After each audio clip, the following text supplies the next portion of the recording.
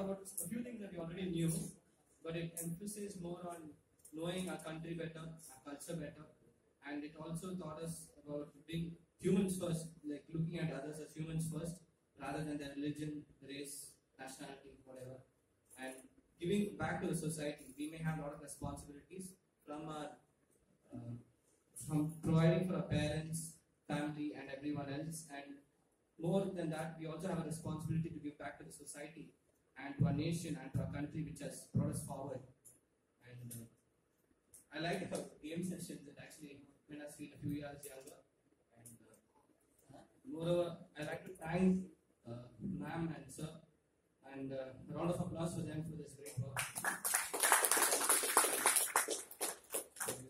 They're, they're doing really good work. Hope you continue. Thank you. Hope you join us. Hope you join us, Tuesday.